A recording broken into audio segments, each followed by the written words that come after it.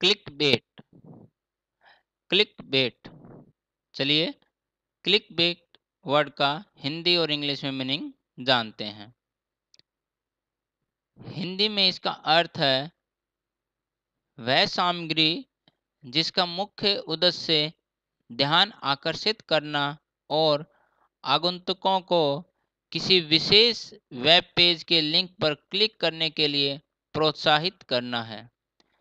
Its meaning in English is on the internet content whose main purpose is to attract attention and encourage visitors to click on a link to a particular web page.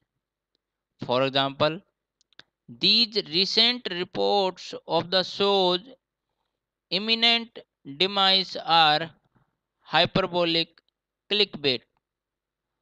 Show ke आसन निधन की ये हालिया report hyperbolic clickbait हैं।